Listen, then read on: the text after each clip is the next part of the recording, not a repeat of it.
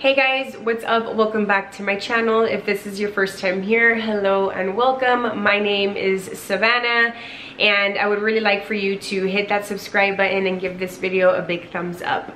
So before we get started today, I am going to be sharing with you my success story with Clomid. I know that when I was about to start this treatment, these were the types of videos that gave me hope when I was feeling so down and out, when I was feeling like a failure as a woman because of my diagnosis and these videos gave me so much hope. So if you're interested in seeing what I have to say and how my story went, make sure you keep watching. Okay, so before I even get into the nitty gritty of my success story, I just first want to say that I was diagnosed with PCOS and um, that was the alternative that my doctor had given me. He said we would try three rounds of Clomid and I only did one round and my baby hit and I'm just so grateful for that. Um, some back information, I'm 27 years old and me and my husband had been trying actively to have a baby for six to seven months. I forget how many cycles it was, but when you want to have a baby it doesn't matter if it's taking eight nine three years four years. When you want to have a baby you want to have a baby now. So um yeah i was just down and out. I lied to my doctor that i had been trying for a whole year um, but luckily he was able to see me at the six month mark. We did all my tests came back that I had PCOS and that was the treatment that the doctor had given me. So before I even took the decision to take the Clomid pill, I know that I did tons and tons and tons of research I researched Clomid, I researched the side effects. I also researched Letrozole because they have those two pills that you can choose from. But I guess my doctor felt safer working with Clomid since he's, you know, I'm not the first person that he's done this with. So, um, after the six month mark i just told jonathan my husband that i just wanted to go to the doctor. I wanted to basically get a physical see if everything was okay with me. And we did um, and it turned out that i had pcos and my doctor basically told me that I needed to change my lifestyle. I needed to start taking metformin and just so much devastating news and things I didn't want to hear as I was trying to conceive and um, I was just so desperate that when the doctor said, hey, we could try this little magic pill and hopefully it'll make you ovulate and if you ovulate, you have more chance of getting pregnant. So I know that there is so much controversy on, you know, people getting pregnant with a pill and people getting pregnant naturally. Um, I didn't care. Honestly, that was like the least of my worries. I just wanted to make sure that my body was ovulating and if I could take a pill to help me ovulate, that was what I was going to do. So basically the doctor gave me Clomid and he started me on the lowest dose. I'm not, I don't really remember how much it was, but it's like the basic dose. It's just one pill. And I took that pill for five days and let me see. Hold on because i have it written here when i took it and i don't want to give you guys any false information on when i took that pill. I took it cycle day five through nine. And oh my god the clomid made me feel a type of way.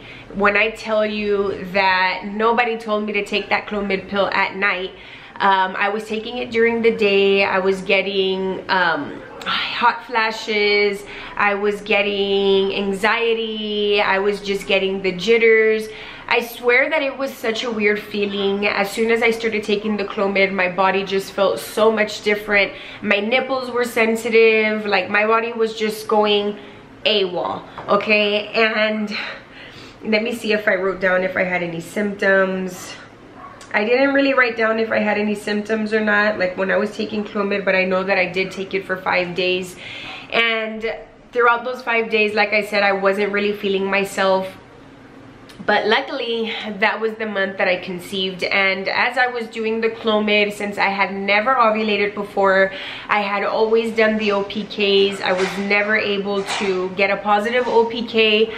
I said, John, if I'm gonna be doing this treatment and putting my uterus and my ovaries in danger, I'm gonna go ahead and use the OPKs, even though my doctor told me not to use the OPKs because it was just gonna stress me out even more. I still wanted to use those OPKs because John spent a lot of money on that medicine and I didn't want to put something inside of my body that wasn't going to work but was going to cause harm. So I still used the OPKs and after I finished my round of Clomid, I started using those OPKs and it was so fun to see the line progress. Like I swear that when I got my first positive OPK, it was just like this big show. I literally showed John the positive OPK and I didn't get a positive until, let me see. Um, so I finished Clomid on cycle day nine and then I got a positive OPK I don't think I wrote it down. Let me check on my Premom app when I got my positive OPK, but I know that I think I ovulated on cycle day 15 because it wasn't, I thought I was gonna, uh, I thought I was gonna ovulate on cycle day 14 like everybody does, but no, I actually ovulated on cycle day 15 and I was already giving up because on cycle day 14, the line was just really not showing up, but then I tested on cycle day 15 later that day, a time that I don't even test, and the line came out super positive. I just remember that I told John that I was ovulating. Babe, remember when I ovulated and I was so excited? Mm -hmm. And um, yeah, so I ovulated and then um, and then so we baby danced and I was before I got a positive OPK I was baby dancing every other day. Every other day every other day every other day. And then as soon as I got my positive we were baby dancing every single day. And I kept taking OPKs just because I wanted to see how high my I forget what the level is called, the HG level was. I just wanted to see how high it was and I wanted to make sure that it went back down. And sure enough, the levels went back down and like I could confirm that I ovulated because never in my life have I gotten a positive OPK. So um, that's how that went and then it was just a waiting game. And I decided to take my pregnancy test nine days post ovulation just because I was anxious. I was filming and writing this all down for you guys because I, I literally wanted to sit down and make a video if I didn't conceive that month. So I tested on 9 DPO and the only symptoms that I had was the sore nipples. But that really wasn't a red flag to me yet because as soon as I started taking the Clomid, that first day, my nipples were sore. So since cycle day five through nine days um, post-ovulation, my, my nipples were sore. And that was just something that I thought went along with the Clomid. I thought that it would go away and that was the only symptom I had as far as like physically. I know that after I started drinking Clomid from what I read it said like you should drink more water and it just helps the Clomid process through your body faster. So I was drinking a lot of water. Mind you because I was diagnosed with PCOS I started doing a diet and eating healthier working out. And I feel like all of that contributed to me conceiving because I made like a complete lifestyle change as well as took the Clomid. So I feel like both of them clashed. And I was just drinking so much more water. So mixed with the sore boobs and the frequent urination, um, those were the only symptoms that I had. I still wasn't feeling tired yet. I felt like my normal self.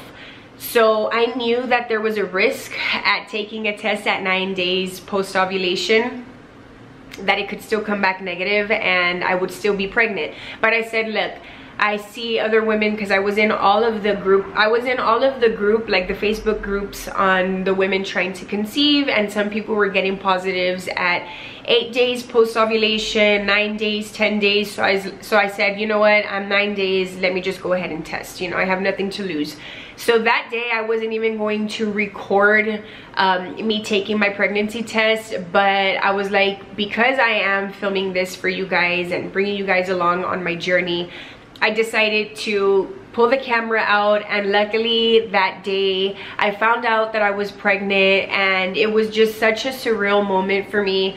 After I found out that I was pregnant I waited one day to tell my husband and after that I took like a total of like 30 pregnancy tests after that like I just kept taking pregnancy test after pregnancy test after pregnancy test and I have a whole other video of the medications that I was taking in um, my PCOS video. So if you're interested in seeing that, I'll link it up here for you.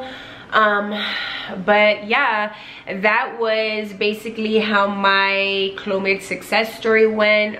I took the pill for five days and it just worked for me. I'm so lucky. I know that for not a lot of women it happens like that. And trust me i'm extremely grateful. I am just over the moon. I'm 17 weeks and six days now and i still cannot believe that i'm pregnant. I haven't felt the baby move. I feel as if when i start feeling the baby move i'll be able to really comprehend that I'm pregnant. Like I do show a bit, but it just looks like I had a big lunch. Um, but yeah, that is my little success story on Clomid. I hope that whoever's watching this video, I hope that this video gives you some type of comfort if this is going to be your first treatment and even if the first treatment doesn't work for you you always have the second and third treatment. And um, if you guys do conceive on your first cycle or your second or third round of Clomid please go ahead and let me know. I will be praying for you. I'm sending you all the baby dust. You're not alone. We're all here. And um, you know I'm just sending you all the positive vibes I hope that you guys enjoyed this video. If you did, make sure you give it a big thumbs up. If you've taken Clomid before, I'm interested in hearing your story. So leave me some comments down below. So that is my little success story. I hope that you guys found some type of comfort. I'm sorry, John is down here making a bunch of noise while I'm trying to finish the video off. But I hope that you guys enjoyed this video. I hope that it gives you some type of comfort. Um, if you guys have any questions, leave me some comments down below. If you have any experience with Clomid, leave me some comments down below. I'm interested in seeing how your journey went. Um, give this video a big thumbs up and don't forget to hit that subscribe button. Thanks.